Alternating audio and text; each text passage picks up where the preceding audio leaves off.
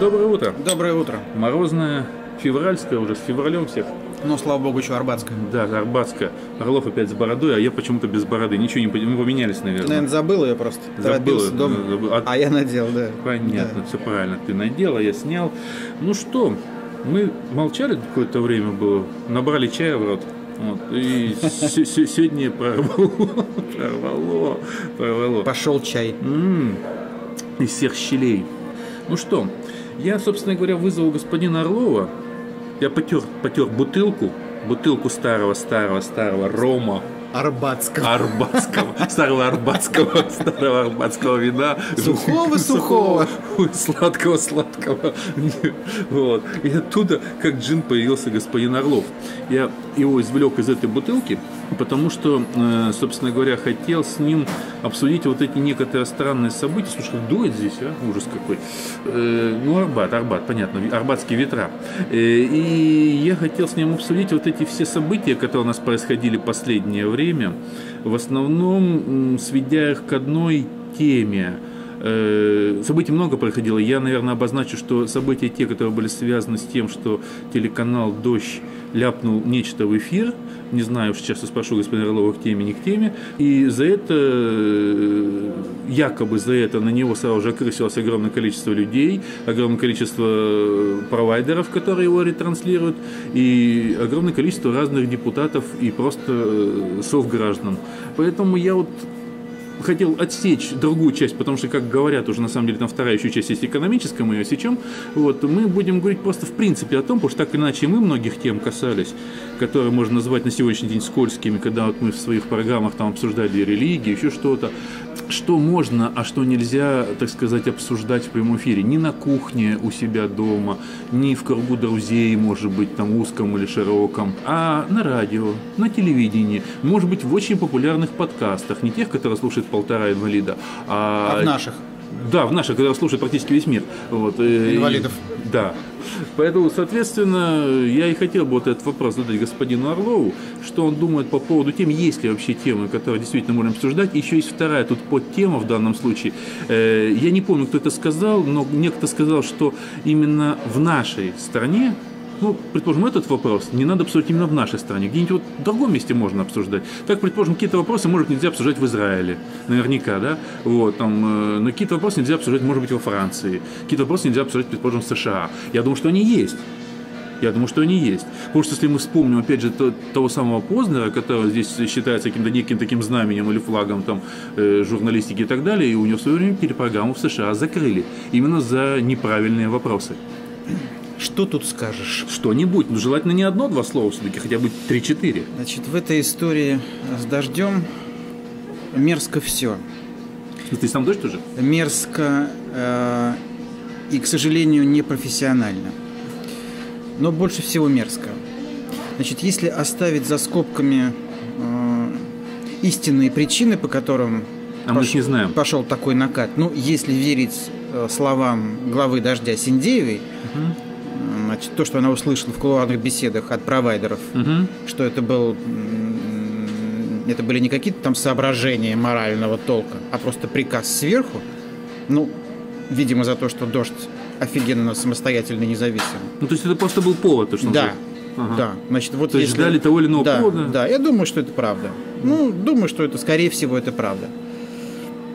А, Вот если это оставить за бортом, а говорить о том, с какой скоростью у нас лизоблюдство распространяется по стране, что мы уже не знаем, куда целовать власть, в какие места.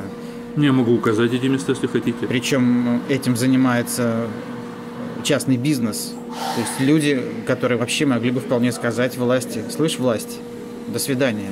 Какие претензии по налогам, по нарушению закона? Нет, всего доброго. Это мой бизнес, я работаю. С этим ко мне не приходите, чтобы я что-то сделал для вас вот такого кулуарного. Потому что вам это опасно, невыгодно и еще что-то. До свидания. Нет, не до свидания. В России не до свидания. И неизвестно, когда будет до свидания. Может быть, было в начале 90-х что-то такое, но потом быстро увяло.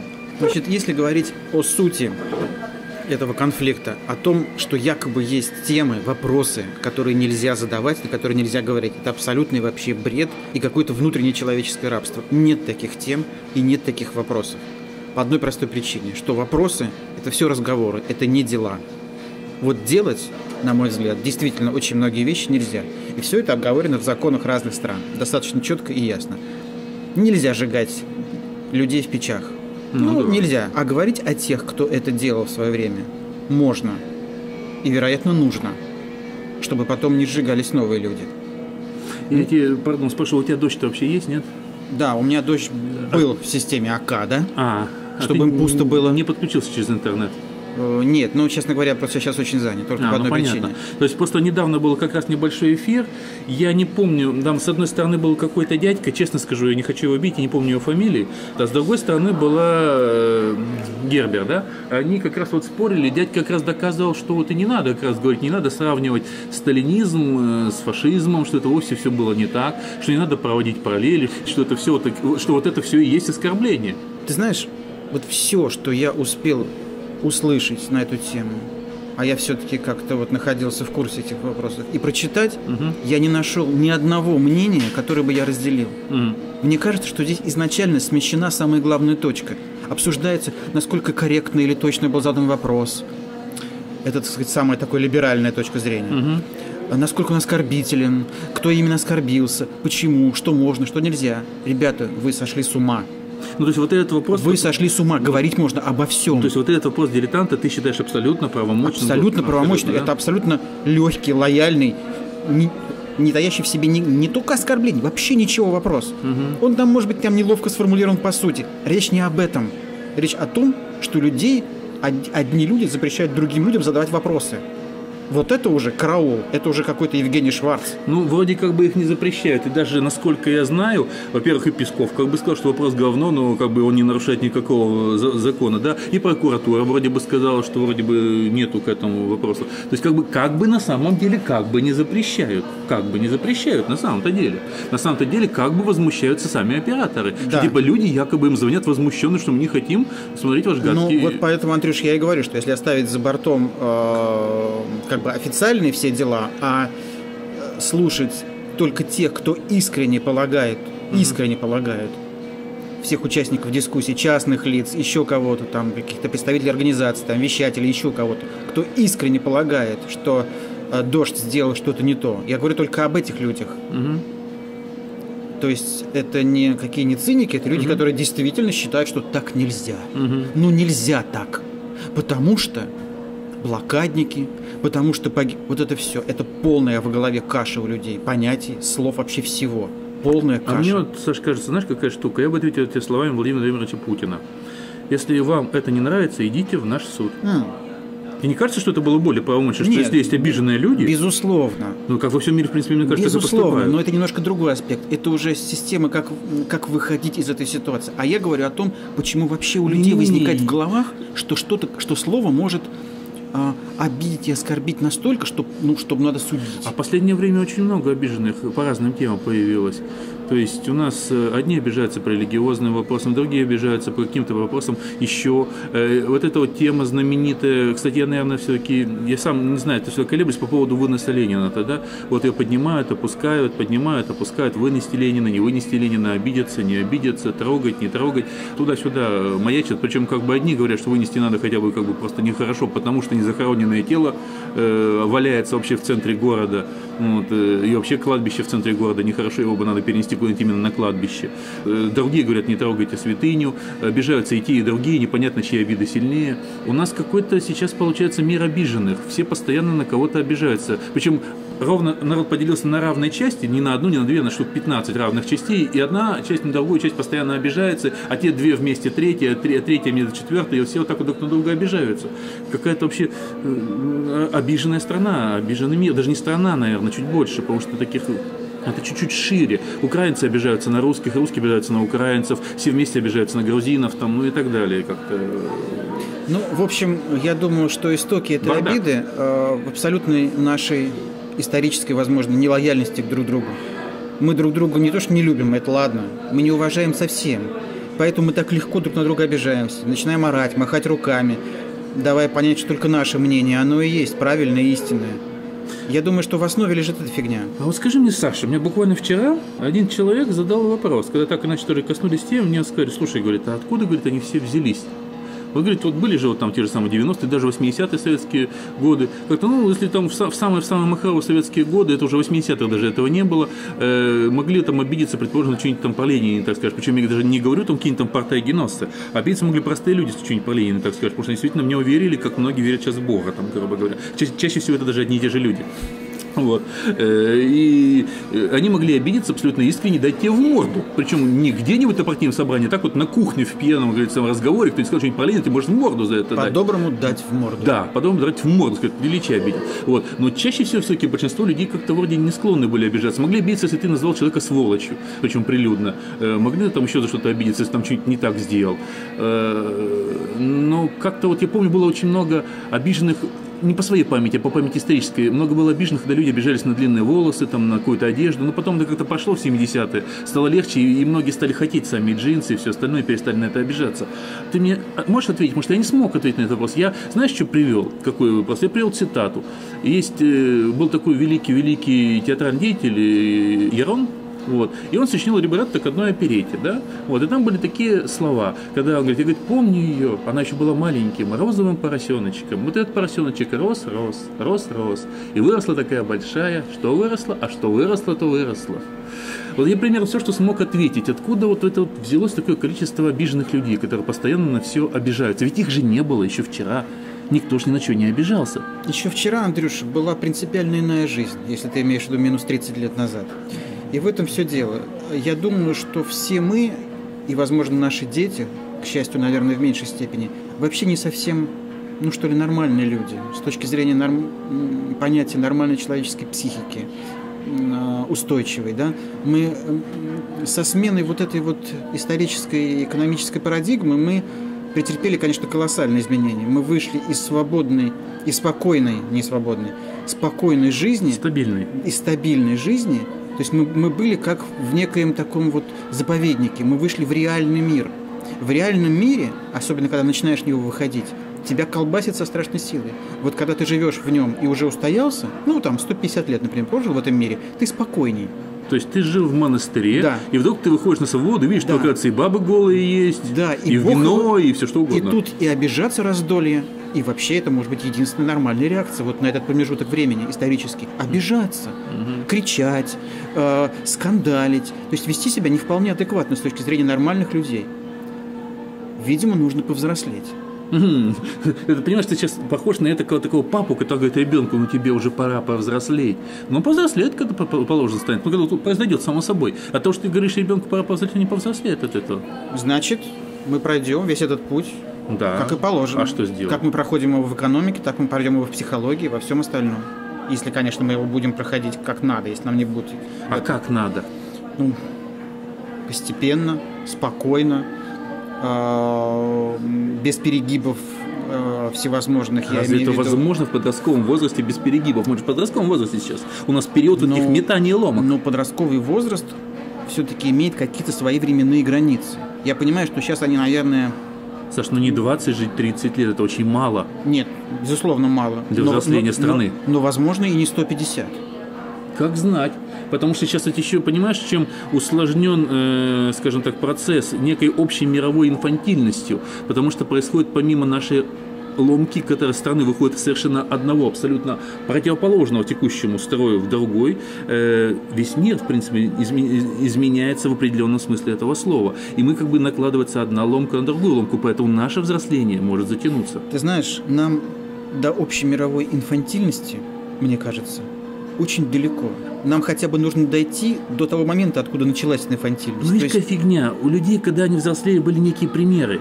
Они, они, они стремились и четко понимали, э, когда Америка, предположим, вырастала в свое время, да, из маленькой, дикой, говорится, страны, населенной приезжими, она примерно представляла, что она хочет, да, то есть, когда так или иначе происходила французская революция, они примерно понимали, чего они хотят. Посмотри на революции, которые происходят в России, пытаются происходить в России. Посмотри на то, что происходит сейчас в Украине.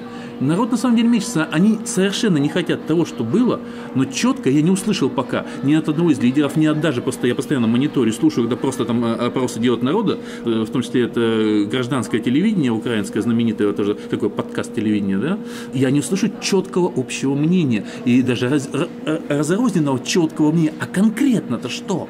Ну, его и не может Вот быть, я понимаю, потому что говорю, мы что- еще маленькие. Вот и я мы, про это и и украинцы, А да. потому что нету того примера, с кого можно лепить лекала. Нельзя сказать, вот я хочу, как в Америке, предположим, или я хочу, как во Франции, или я хочу, как в Израиле. Вот нету такого примера, потому что и там все меняется сейчас. Поэтому я говорю, что наше взросление затруднено. У нас нету с кого брать пример. Это, понимаешь, это как страна детей, у которых нет взрослых, с которых можно лепить свое будущее. Вот взяли детей, отвезли на отдельный остров, они сами по себе растут. Вот сами по себе, блин. Ну, ты знаешь, я думаю, что э, достаточно просто соблюдать собственные законы, если они нормальные, а там что будет, то и будет. Ну, что, я име- что я имею в виду? Я имею в виду, что если выборы, то они должны быть честными. Вот кого выбрали, того и выбрали. Но только по чесноку. Не подмешивать эти самые все бумажки, вбросы. Начнем с этого. Да? Если объявлена Конституция свободы слова, то не надо делать черные списки на телевидении. Не надо этого делать.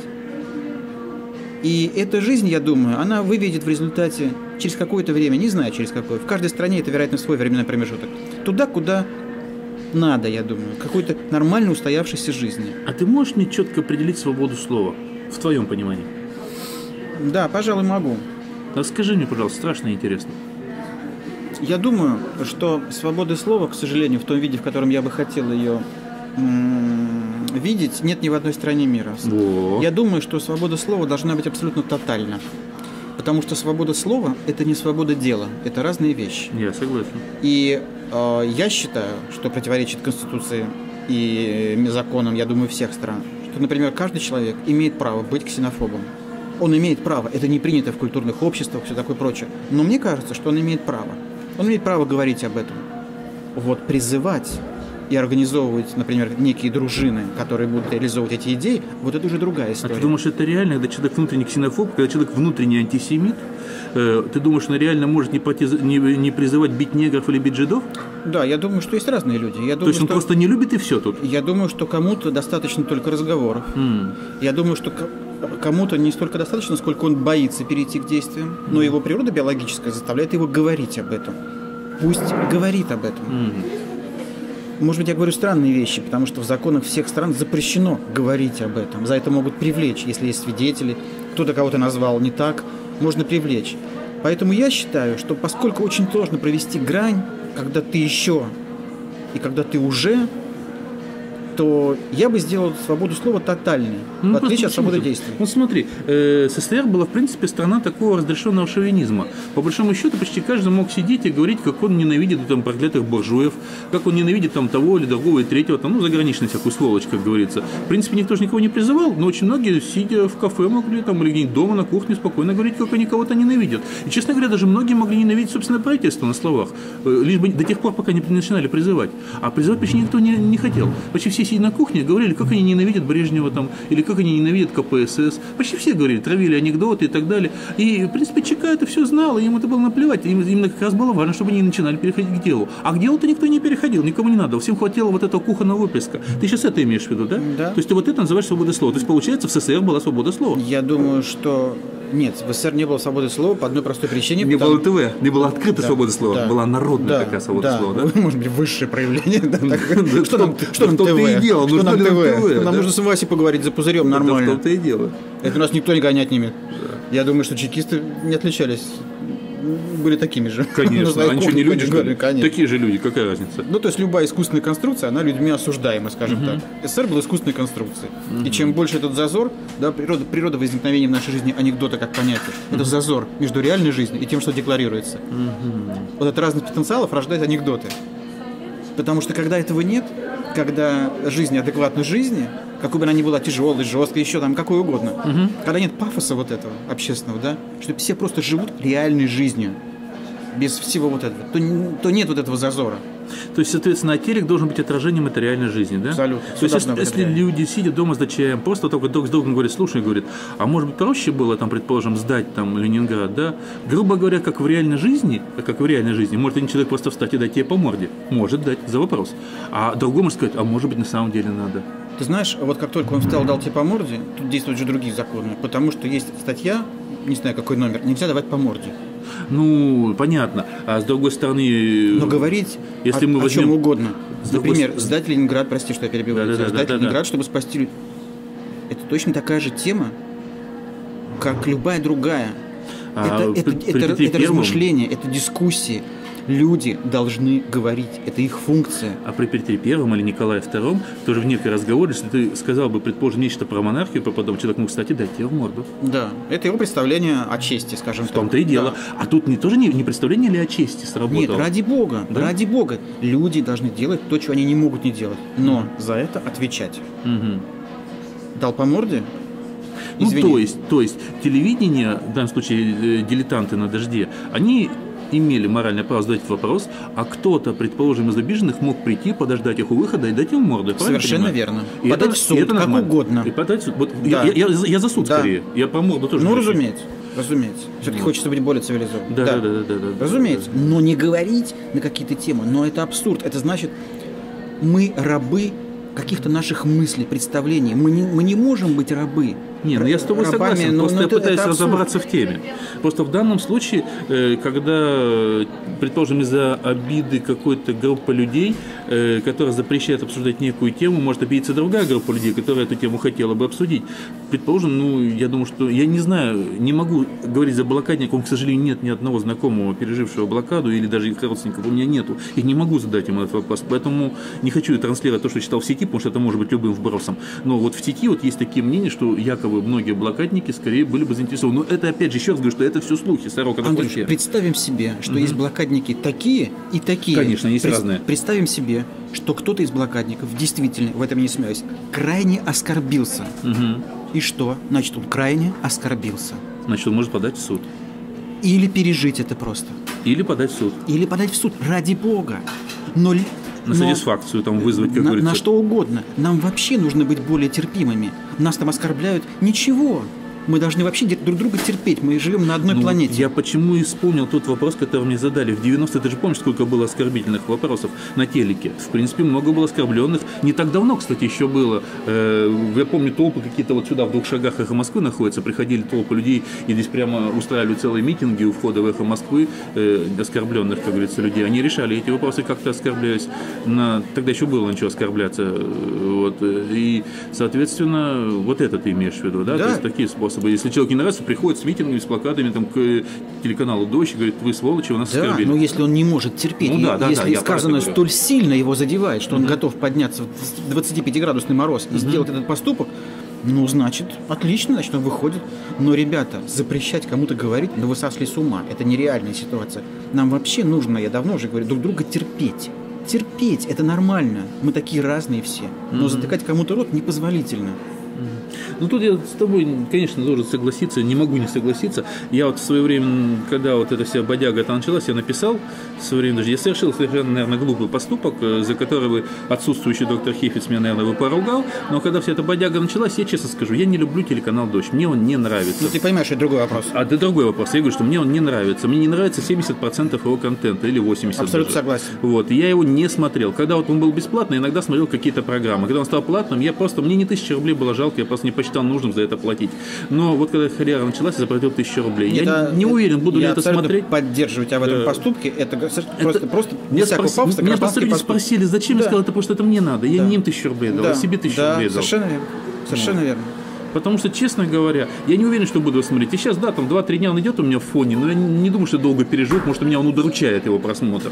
Но это уже другая история. Это другая уже история. Это, это- это их право. Я думаю, что многих удручают наши вот эти вот разговоры. Просто они есть, так или иначе. И, может быть, благодаря вот этой херне мы сейчас снова говорим. И вообще, чем больше люди говорят между собой, тем, тем ясней становится для каждого из них, как вообще наша жизнь устроена со всех сторон. Потому что если мы будем молчать, плохо кончится. И уж тем более запрещать друг другу что-либо. Плохо кончится. Кстати, что-то плохо кончится. Буквально уже совсем не в тему, может, два слова. Что ты думаешь по поводу Украины? Ну, просто частное мнение, имхо. По поводу Украины я, я, ну, я даже не знаю, как назвать Нечего это. сказать? Вот эту, не, вот эту готовность выйти миллиону на улицу, это меня э, потрясает. Я прекрасно понимаю, что там очень разные люди на улице. И очень много провокаторов. И очень, да. Разных- разных Но из этого миллиона, я думаю, есть весьма высокий процент нормальных людей, которые действительно являются гражданами страны и вышли именно по этому поводу, что им надоело терпеть что-либо со стороны власти. Не знаю, чем это все кончится, не знаю. Думаю, что кончится все это тем, чего хочет большинство. Так обычно всегда и бывает. То есть будут отброшены все эти националисты, будут отброшены еще кто-то, да. Я думаю, что в основе Ну, тебя радует. Да, безусловно. Я вообще не люблю, когда терпят унижение. Мне Не очень- смущают те, те, скажем так, страшные потери, которые несет город Киев. Я имею в виду в смысле архитектуры, улиц и остального. Они меня смущают, но есть вещи подороже этого. Понимаешь, Андрюш, я думаю, что в основе лежит вот этого явления выхода не то, что кто-то профинансировал, я считаю, что это абсолютный бред, а истинный мотив, порыв, желание людей это сделать. Вот если в основе лежит это, значит, ну, это правда. Многие вещи финансируются так или иначе, финансируются с разных сторон. Поэтому это пускать мы не будем, это не важно на самом деле. Потому что без финансирования это тоже невозможно. Откуда-то должно браться. Но финансировать всегда какие-то стороны. Сторона может ту или другую сторону принимать финансовое. Она всегда была. Она была у всех революций. Потому что и французскую революцию спонсировали, и американские движения все спонсировали. у Понимаешь, всех были это- какие-то это- люди, которые просто отдавали свои Это, деньги. это- но это может, это, тогда ты говоришь о поддержке. Это, другое дело. финансирование. Мы, мы же, не, понимаешь, ты слово финансирование вкладываешь отрицательную коннотацию. Это не обязательно Ну, отрицательно. ну, подкуп, да, Ну, да. Нет, называй подкуп подкупом, не путай русские Ну слова. хорошо, хорошо. Я имею в виду, когда там выходят э, какие-то люди, Титушки? приезжающие из нет из э, Восточной Украины, А. и известно, что им заплатили, А. вот это одна история. А когда люди выходят и им Ну, не я говорю, заплатили, это, другая история. Это другая Да. история. Провокаторы есть и бесплатные. Да, да, Мы да. просто провокаторов отбрасываем. Да. Я просто как раз не вижу ничего плохого в финансировании, будем так говорить. А как? Вот а как? Людей надо кормить, может, такие вещи Ну надо да, делать. там нужны майки, футболки, Все в что угодно. концов, Каски эти, каски да. там. Просто- Ну, подкуп, да. да. Вот когда без, подкупа, без подкупа, Провокация, это- да, провокатор. да, без провокатора. есть тоже с разных сторон. Да. Вот когда, вот если большинство этих людей не провокатор, значит будет так, как хочет вот это непровокационное большинство в результате. Потом выяснится, что это тоже не совсем то, что нужно, ну, наверное, как выяснилось у нас несколько лет назад там, да. Главное, чтобы не нарушались базовые ценности, чтобы все было по-честному. Честные выборы и прочее, прочее. И тогда жизнь выведет сама туда, куда надо. Когда ты не влезаешь в нее, не искажаешь ее в угоду там своим интересам или еще кому-то, неважно. Вот когда все по чесноку, просто людям трудно быть честными. Трудно власти оставаться честной. И общество, молодого общества, свободного, еще нет этих механизмов сдерживания власти, заставления власти быть честными. Чтобы еще эти методы заставления были тоже еще в рамках закона. В рамках закона это есть только в одной стране. В принципе, не очень мной любимые Соединенные Штаты Америки. Там очень четко в законах прописано, что народ имеет право на вооруженное восстание.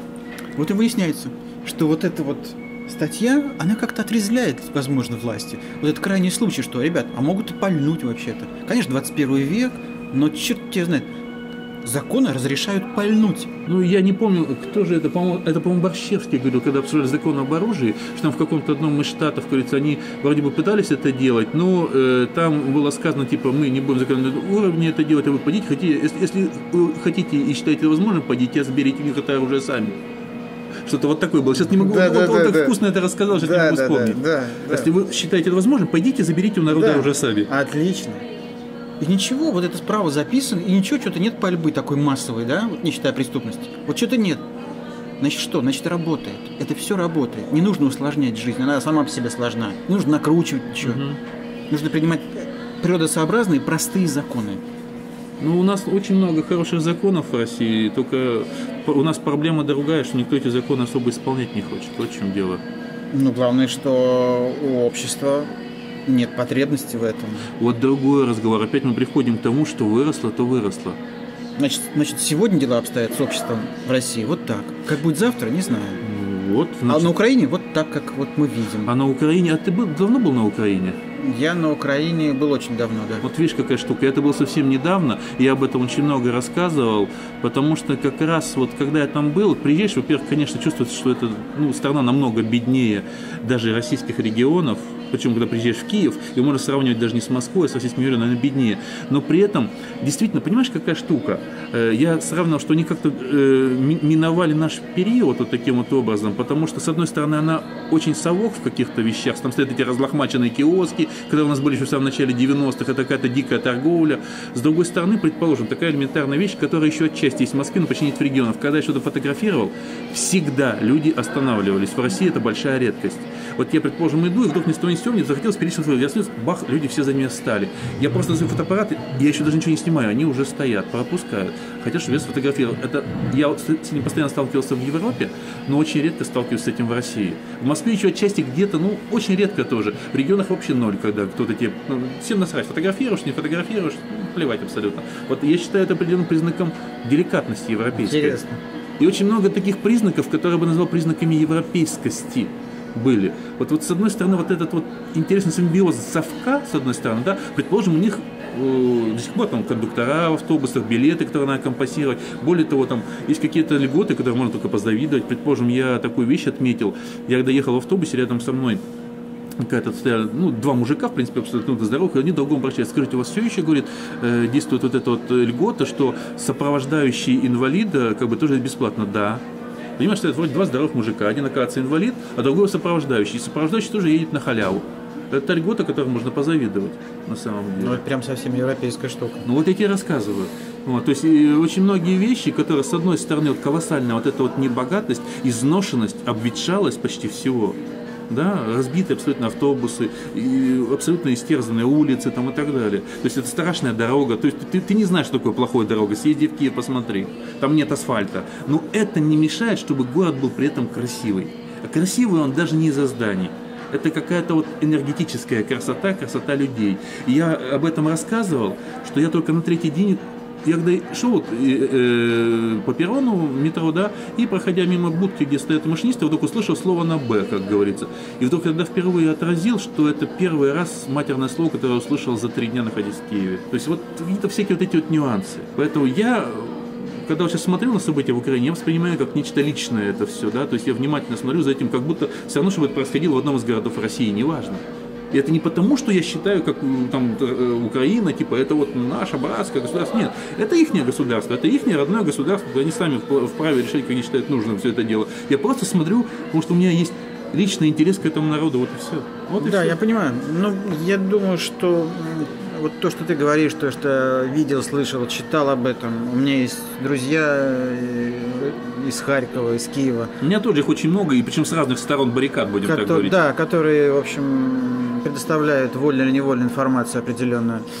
Я думаю, что э, мы чем-то похожи и чем-то не похожи. Вот это отсутствие... Есть два момента. Отсутствие невероятных денег российских, которые берутся от гафти, газа, Бешен- газа, бешеный, газа бешеный. и нефти. Я Нет. придумал термин гафти. А мне больше нравится то, что Островский определил словом бешеные деньги. Именно по Островскому, Бешеные- по Островскому. Да, бешеные деньги. Да. И, конечно, размеры.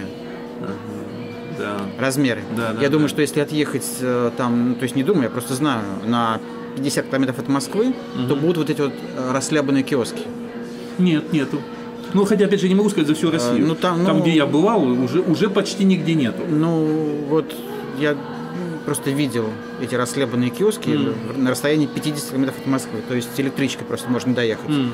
Нет, разумеется, что-то меняется, но крайне медленно. Что касается людей, не знаю, Андрюш. Не знаю, понимаешь, сколько они были советскими людьми? Они были людьми советскими на 30 лет меньше примерно, чем мы, да? Насколько это сделало их другими? Насколько у них есть историческая память по той Украине 30-х, 20-х Есть, годов? есть, есть. Я ее видел. Э, Вот чем мне еще понравилось, э, вот Майдан э, на самом деле был то место, где постоянно тусовались люди, как у нас когда-то. Когда просто ежедневно какой-то митинг был, больше, меньше, митинги там политические, митинги там, помню, как раз я застал митинг, я его фотографировал, там тоже был против милицейского произвола, там какие-то милиционеры, какую-то девушку изнасиловали, там еще что-то такое, и собрались люди, которые против этого там серьезно очень долго и очень многолюдно выражали свои протесты, будем так говорить, да, вот, вот это такое место, где постоянно такой гайд-парк на самом деле был. Вот. И на самом деле там я видел и красных, всяких видел. Разные они есть, разные есть. Абсолютно разные. Есть красные, есть э, унсо, есть все что угодно. То есть она очень разношерстная, как Россия в 90-е. Это сейчас Россия более-менее одинаковая вся. Ну, вот есть какой-то э, клочок отщепенцев этих белоленточных, есть какой-то клочок э, наших, как говорится, а основная масса, она более-менее вся однородная. Ну да, да, которым достаточно разговоров о чем-то, а иногда и разговоры не нужны. Очень многие люди, как я тут недавно выяснил, умышленно, угу. умышленно не думают об общественно-политической стороне жизни. Вообще не думают. Они заставляют себя не думать. Да. Ладно там выходить на улицу, Просто даже не думать, не, в этом не участвовать. А не думать потому, что дело грязное, или потому, что э, они считают себя выше этого, или потому, что, не дай бог об этом подумать, будет это как-то обидно? Нет, они это делают, потому что все равно ничего не изменится. А, вот оно что. Ну, они во многом правы, это на самом деле так. Это и традиционная русская, э, скажем так, такая забава, что ли. Ах. Мы уже с тобой много наговорили, я предлагаю, а то, видишь, как бы вырвались на свободу, я предлагаю на этом поставить какое-то многоточие и до следующего раза. Всего ты, доброго. Ты выпил свой чай. Пока.